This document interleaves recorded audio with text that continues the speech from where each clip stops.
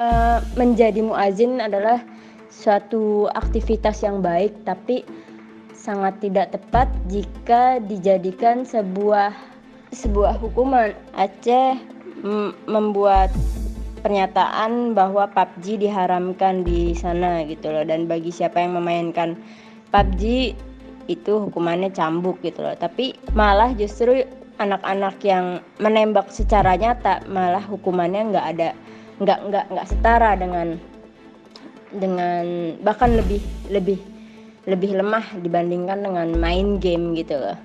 Padahal mereka bawa senapan-senapan asli yang ditembak pun hewannya asli gitu harusnya ya paling enggak mm, memberi memberikan dampak yang uh, supaya si pelakunya jadi cinta hewan cinta tumbuhan cinta lingkungan ya ajaklah anak-anak ini untuk berkegiatan di alam di alam seperti merawat hewan. Kalau cuma jadi muazin doang ya mungkin ya masih nggak ngerti aja hubungannya apa sih